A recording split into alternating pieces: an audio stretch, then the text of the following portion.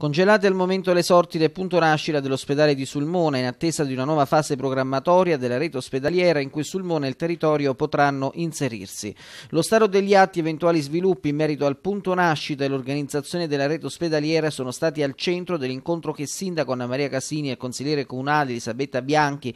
hanno tenuto oggi con il direttore regionale Dipartimento Salute e Welfare Angelo Muraglia, come deciso ieri nella Commissione Sanità tenuta insieme ai consiglieri comunali e all'assessore comunale Pierino Fasciani. La fase transitoria delle regionali ha tenuto in stallo la situazione del punto nascita rispetto all'ultimo atto riguardante il verbale del documento ministeriale. Prossimo passo, fondamentale nella definizione del futuro della sanità peligna, sarà l'interlocuzione politica con il nuovo governo regionale, in particolare con il presidente Marco Marsiglio e il neoassessore Nicoletta Verì, con i quali discuteremo anche della situazione della clinica San Raffaele, realtà qualificante del territorio sia dal punto di vista occupazionale che dell'offerta di servizi in relazione all'unità spinale, hanno affermato Casini e Bianchi oggi in tour nel capoluogo adriatico per incontrare Muraglia.